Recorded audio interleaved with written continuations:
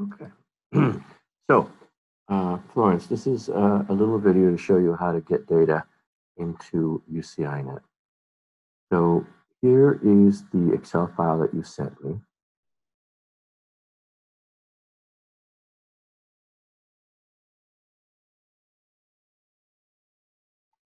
And it's got two tabs, relations and attributes, which makes sense. So we'll take the relations first. It's a single matrix of ties. It has values, twos, ones, and of course zeros.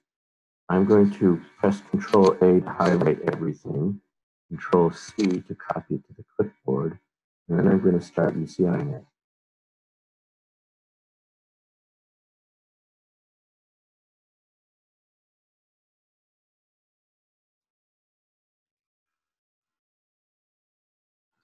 right, there's UCINet. I need to change to the folder where your data are. There we go.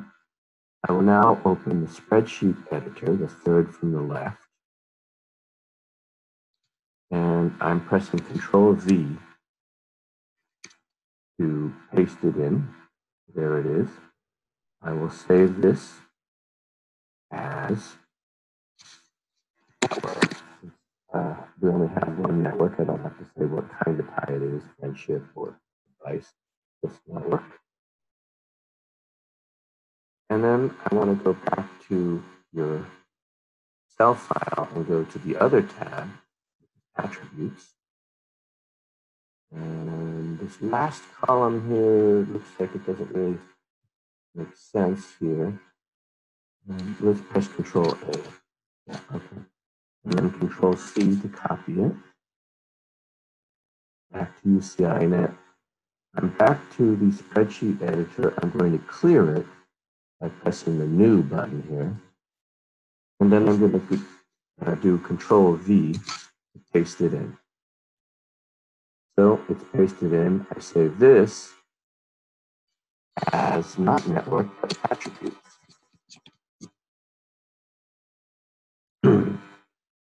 So that's done.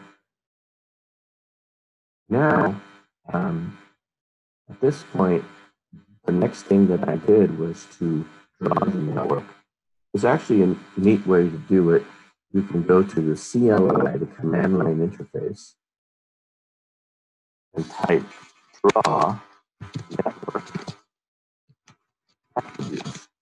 So it's going to read both files and draw a picture. But there we are. And uh, I haven't determined yet whether your data are symmetric or not. Let me uh, separate things. Right now we have this one little group over here, very separated from this other one.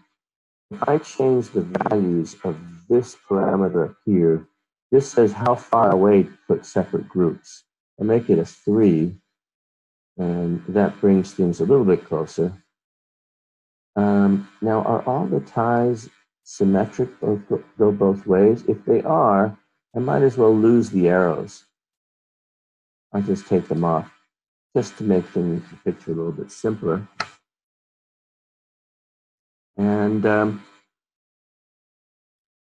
let's see. Suppose I move this a little closer.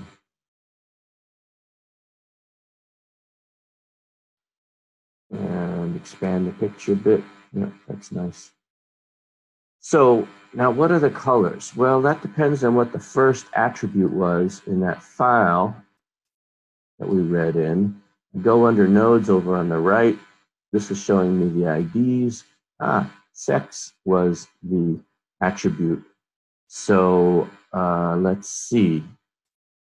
I can't tell from the names, of course, uh, who is what gender. Um, but presumably you can. What other attributes do we have? Well, we have age. Here's age. Um, a shortcut way of sizing the nodes by age would be to simply press the size button down below. So we can see that Gerard here is very old. or age four, that is, of your four categories.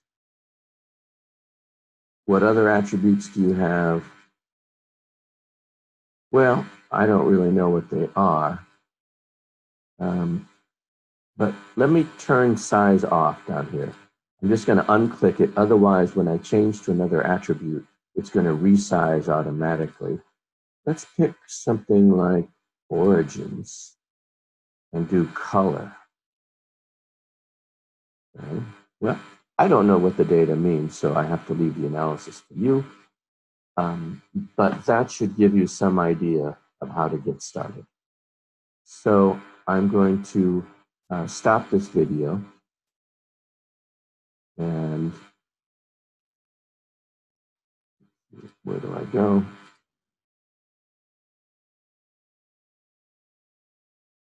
Stop recording.